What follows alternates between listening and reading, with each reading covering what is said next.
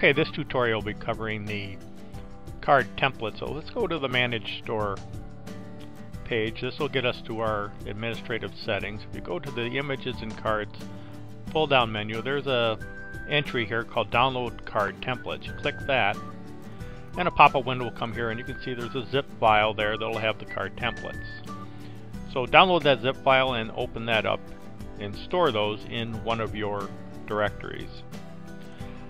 Okay, so here I am at my GCU folder in my graphics program, and I'm using PaintShop Pro Photo X2. A lot of other people use uh, Photoshop. You can see I have the two templates from GCU in here, the landscape template, PSD, portrait template, PSD. So these are Photoshop files that also open in Corel PaintShop Pro.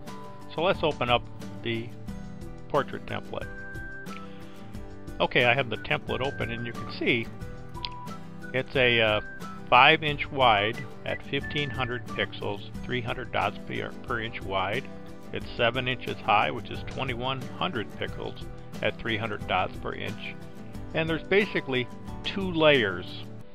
The top layer is what we're seeing right now, which is this uh, informational layer. And underneath it is what's called the just the border layer, which is basically just has this uh, red dotted line. Now, if I uh, take off the top layer, I can see the bottom layer has this dotted line, which is the the edge of the what's called the bleed area, and then the main area of the card. Okay, now let's talk about this a little bit here. This red dotted line is the border between what's called the bleed area and the main content of the card. Now, when you when you make your card image, you do want to take your artwork and spread it over this entire area. So you want to go 1500 pixels wide and 2100 pixels tall.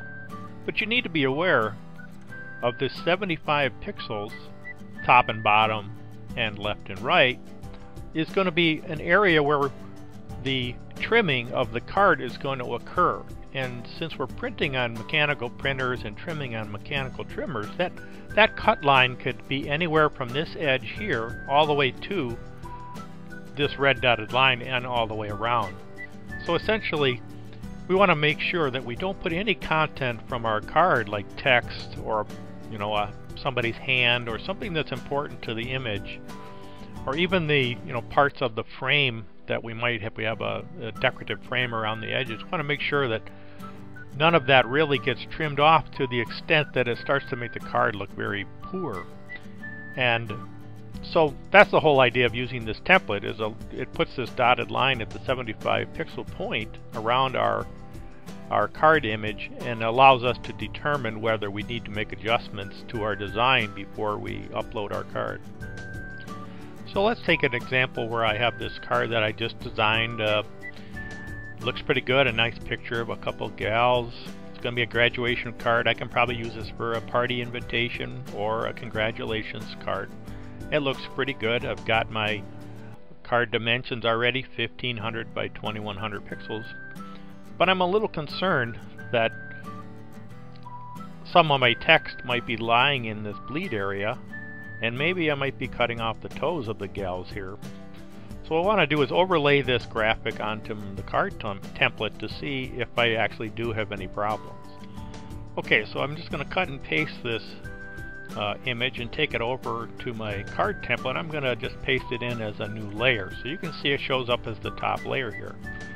Now, the way you really work this is you take the layer that's the uh, dotted line layer and just lay it on top of your image and you can see so you're seeing the top top layer first which is the dotted line layer then you're seeing the actual graphic image that you're overlaying. And sure enough I found some of my problems. I have some of the text of the card overlaying into the bleed area. I have some of the text on the bottom here in the bleed area and I have the toes of the gals that are clipped off. And clearly this is if the card was ever printed and trimmed this way it would be terrible and uh, the customer would demand their money back. So obviously I'm going to have to fix this design in one way or another before I upload it. So I think I'm going to try putting a wide border around and uh, see what I can do there. Now, before I think about this, if I go and look, I have the edge of this card template. If you look at my ruler at the top here, it's exactly 75 pixels. So if I'm going to add a border, I want to make sure it's probably twice that distance so that if I do end up having a, some of that border trimmed off, I at least have 75 pixels of border all the way around the edge there.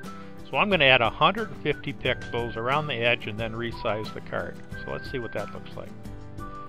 Okay, so here's my new card. I've got the uh, 150 pixel slate gray border around it. I add a little bit of a contrasting trim around the photo itself. It makes it look a, a little more professional.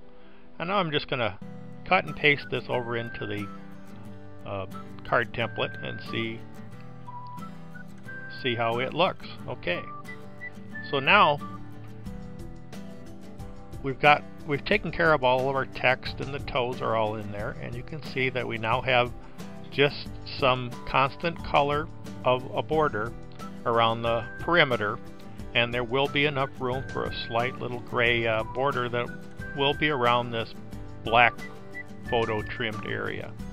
So this is telling me that I've solved my problems and my card is ready to upload. Just double check my sizing, 15 by 2100 is okay.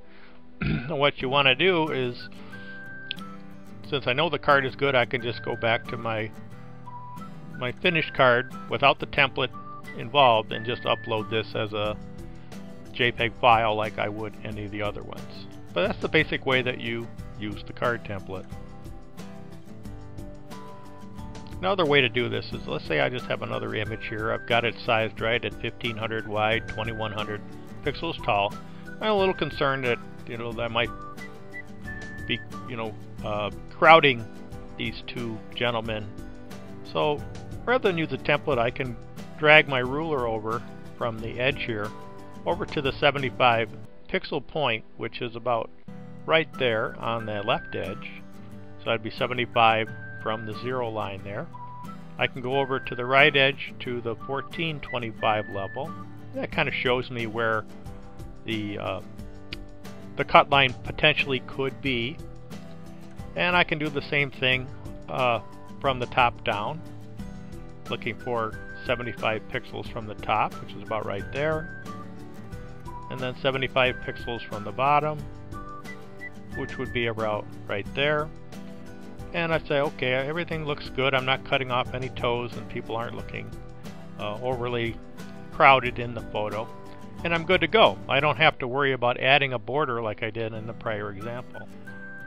You know, there may be cases where people can't open the Photoshop file or that. You can make up your own template just taking into account this uh, 1500 by 2100 pixel template size and using 75 pixels as your dotted line spaces to separate the, the main content of the card from the bleed area. So I hope that was helpful. If you have any questions, you can come to the GCU forum and uh, plenty of people there to help you. Now if you want to go back and check your old cards, you can go to your managed card page under list view and under each card there's a link here for what's called the print margin preview. So let's click on that. That'll bring up a page that'll be uh, specific to this particular card. And it'll have two uh, rectangular boxes around the card image.